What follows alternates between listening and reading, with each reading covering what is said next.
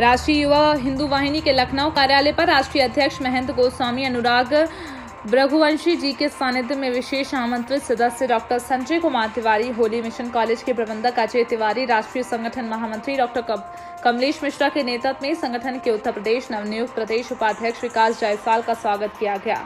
कार्यालय पर जनसंख्या नियंत्रण कानून, हिंदू राष्ट्र को लेकर चर्चा की गई। साथ ही गोवा में गोमांस, खुलेआम कटने और बिकने को लेकर जयपुर के आमागढ़ किले में रामकेश मीणा द्वारा भगवा झंडा फाड़ा गया।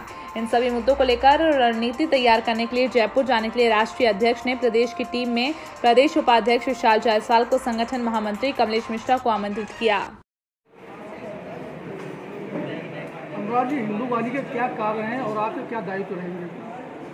मैं महंत गोस्वामी नागवंशी राष्ट्रीय अध्यक्ष राष्ट्रीय वाहिनी कानपुर एवं बड़ा गर्व हर्ष है जो साथियों ने आज। सम्मान किया, परंतु एक नाराज़गी मुझे है।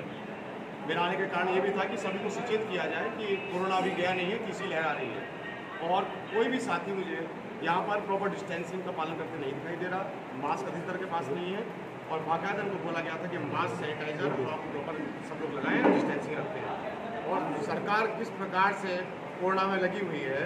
जनता बचाने के और सभी साथी ये तो खैर प्रेम भाव के लिए आते हैं। लेकिन प्रेम भाव में अपने परिवार का अपना जीवन भी आदमी को सोचना चाहिए, घर में बीमारी जा सकती है। ठीक है ना? इसका भी सब लोग पालन करें। दो गज की दूरी, मास्क ज़रूरी है, सैनिटाइजर। माननीय योगी जी की, प्रधानमंत्री जी की, उसको फलिता ना लगाए मेहनत को।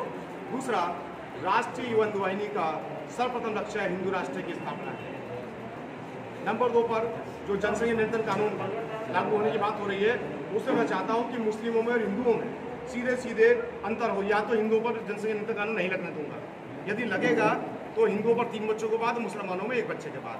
क्योंकि सैंतालीस साल देख लीजिए, जो जनसंख्या वृद्धि हो रही है, वो मुस्लिम समाज के द्वारा कई गुना हो रही है, हिंदू समाज उसी हिसाब से बढ़ रहा है, इस प्रकार से पहले था। तो इसमें एक अच्छी बात यह है कि मुस्लिम समाज जितना कम बच्चे पैदा करेगा।